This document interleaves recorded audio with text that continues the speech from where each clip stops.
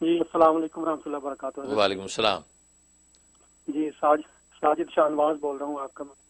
جی جی ماشاء اللہ ماشاء اللہ شاہنواز صاحب بتائیے۔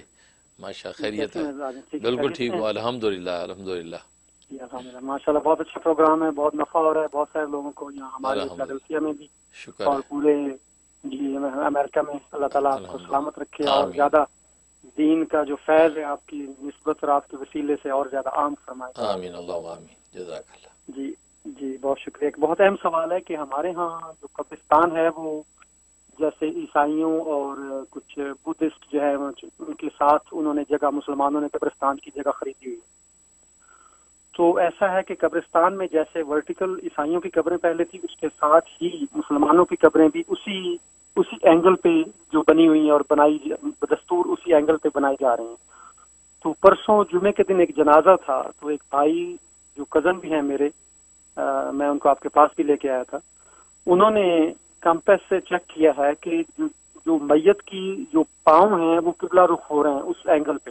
اور صحیح چہرہ جو کعبے کی طرف نہیں ہوتا بلکہ پاؤں قبلہ کی طرف ہوتے ہیں اس اینگل کی وجہ سے۔ تو پہلے بھی کئی قبریں اس اینگل پہ بنائی جا چکی ہیں۔ تو ان کا سوال یہ ہے کہ اس طرح دفنانے سے اگر صحیح قبلہ رخ چہرہ میت کا نہیں ہوتا، تو کیا میت پہ کوئی عطاب ہے یا دفنانے والوں پہ عطاب ہوگا؟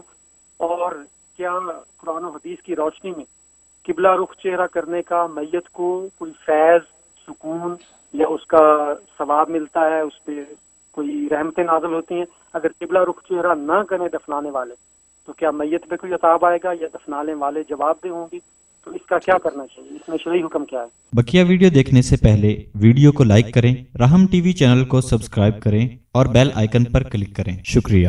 بہت شکریہ بہت شکریہ۔ ماشاءاللہ سب سے پہلے آپ کی محبت کو شکریہ آپ کی دعائیں نیک خواہشات اللہ قبول فرمائے اور ہمارا فیض اسی طریقے سے آگے سے آگے چلتا رہے اور جو اخلاص کے ساتھ اللہ تبارک و تعالی اشاعت دین دفاع اسلام اور خدمت خلق کی خدمت ہم سے لیتا رہے۔ باقی جو سوال کیا، یہ بہت سینسیٹیو و عمدہ سوال کیا ہے۔ اور یہ تو خیر، یہ عقل سے باہر بات ہے کہ انہوں نے اسی رخ کے اوپر مسلمانوں کی قبریں کیوں بنائی ہیں۔ یہ تو وہاں جو مسلمان جنہوں نے وہ حصہ جو ہے قبرستان کا مختص کیا ہے مسلمانوں کے لیے، تو ان کو چاہیے کہ قبلہ رخی قبریں بنانی چاہیے۔ ہاں عیسائیوں کے رخ پہ جو بنی ہوئی، ان کی بنی، ان کا اپنا طریقہ کار ہوگا۔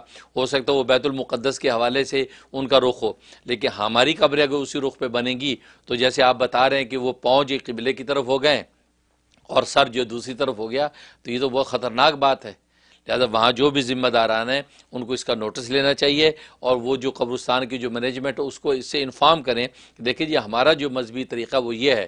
اور لہٰذا قبلہ رخی ہی جو میت کو لٹانا چاہیے اور جو رخ بھلے عیسائیوں کی، اس سے کیونکہ ظاہر ہے کہ ایسی جگہوں پہ عام طور پہ یہاں یہی ہوا ہے کہ عیسائیوں کے، یہودیوں کے، بدھ مت کے قبرستان، ان کا ایک حصہ ٹکڑا مسلمان اپنے لیے مختص کروا لیتے ہیں۔ تو جب مختص کروانے کا مقصد ہی یہ ہے کہ آپ نے اپنے رخ پر سنت طریقے سے جو شریعت و سنت کا حکم ہے، اس کے مطابق تدفین کرنی ہے۔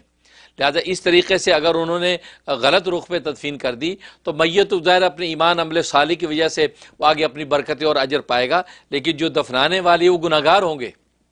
وہ گناہ گار ہوں گے اور اند اللہ ظاہر ہے کہ وہ ان کا مواخذہ ہوگا۔ اور میت جو ہے، اس رخ پہ لیٹنے کی وجہ سے وہاں کی اگر برکات سے معروم ہوئی، تو اس کا وبال بھی دفنانے والوں پر ہے۔ اگرچہ وہ میت کے اوپر، مرحوم کے اوپر کوئی اتاب نہیں ہوگا، کوئی عذاب خدا نہ خواستہ نہیں ہوگا، لیکن یہ ہمیں تو حکم ہے کہ ہم، کیونکہ مردہ تو ہمارے ہاتھ میں ہے، اب ہم دفنانے والے کا کام ہے کہ اس کو کس طرح سے دفناتا ہے۔ اس لیے جنہوں نے یہ حرکت کی ہے بے وقوفی کی ہے، لہٰذا آئندہ جو ہے ان کو یہ رخ اس کا درست کر کے دفنانا چاہیے۔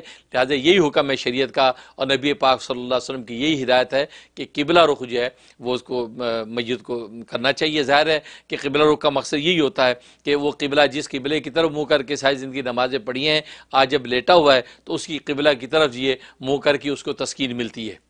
اور یہی جو ہے شریعت کا حکم ہے کہ بلا رخ ہی لٹانا چاہیے، دوسرے رخ سے پہ لٹانا، یہ لٹانے والے گناہ گار ہوں گے۔